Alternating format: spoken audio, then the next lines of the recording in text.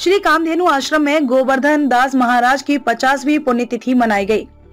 अयोध्या के बाईपास रामघाट स्थित कामधेनु आश्रम बड़ा स्थान में भव्य रामर्चा तुलसी विवाह का कार्यक्रम हुआ वहीं आज गोवर्धन दास महाराज की पचासवीं पुण्यतिथि बड़े धूमधाम से मनाई गई इस पुण्यतिथि के अवसर पर साकेत वासी महंत गोवर्धन दास महाराज की प्रतिमा पर महामंडलेश्वर राम लोचन दास महाराज, आशुतोष दास महाराज व अयोध्या के साधु संतों ने पुष्पांजलि अर्पित कर नमन किया।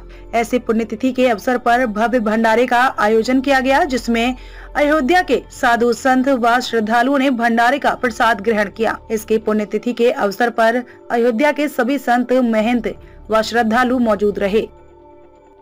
है और कौन कौन लोग सम्मिलित हुए इस कार्यक्रम में और क्या क्या कार्यक्रम है? यह कार्यक्रम वार्षिक भंडारा होता है। मैं अपने बाबा गुरु पूज्य साकेतवासी श्री श्री 1008 श्रीमान गोवर्धन दास जी महाराज की पुण्यतिथि के उपलक्ष्य में करता हूँ।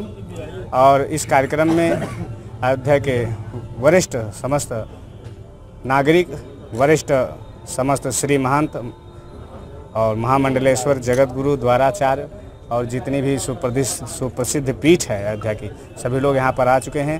तो दशरथ महल के महान जी और राजकुमार दास जी जगत गुरु जी इत्यादि सभी लोग यहाँ पर और हमारे भैया जी हैं जो अब यहाँ भी मैं कुछ कहूँगा नहीं लेकिन उनको सभी जानते हैं आप बताइए। हाँ तो भैया यहाँ के जो है मुख्य अतिथि भी रहे हैं और अभी जो है शाम तक तीन बजे तक लमसम माननीय सांसद विभूषण शरण सिंह जी का आगमन भी होगा। आज क्या क्या कार्यक्रम हुआ? आज कार्यक्रम यहाँ केवल भंडारे का है। क्या कहना चाहेंगे गुरु जी की के अवसर देखिए ये तो मेरा सौभाग्य है कि मैं प्रत्येक वर्ष इसका लाभ उठा रहा हूँ भंडारा का। और मैं ये कहना चाहता हूँ कि जितने भी हमारे अयोध्या के युवा संत हैं, वो अपने पूज्य चाहे गुरु जी का हो, चाहे बाबा गुरु जी का हो, बड़े धूमधाम से पुण्यतिथि मनाएँ और उनकी परंपरा का इसी प्रकार का संवाहन करें। आशुतोष दास।